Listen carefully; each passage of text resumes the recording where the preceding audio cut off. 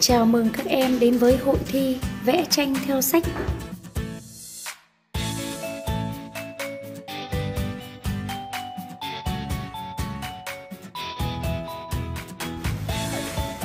Sân chơi tạo điều kiện cho các em thiếu nhi yêu thích đọc sách và phát huy khả năng hội họa.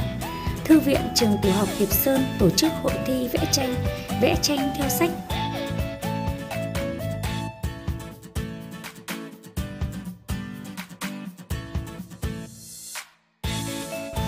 Chuẩn bị. Các em chuẩn bị giấy vẽ A3, bút chì, tẩy, màu.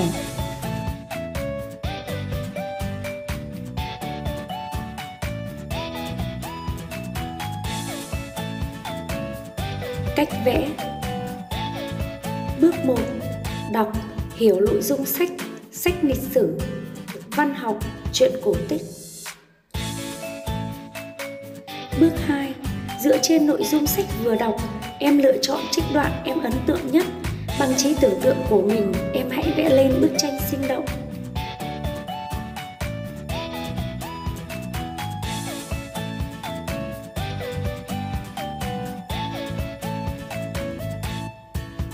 Cô lựa chọn trích đoạn Mai ăn tiêm trồng và chăm sóc dưa hấu trong chuyện sự tích dưa hấu để vẽ tranh.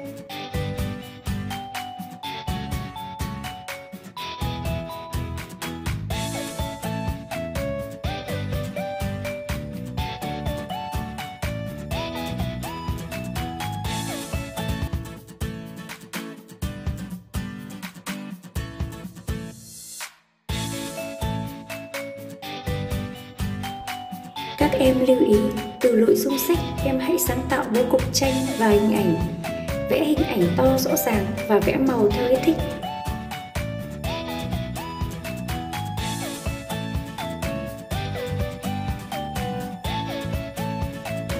Các em quan sát một số bài vẽ của các bạn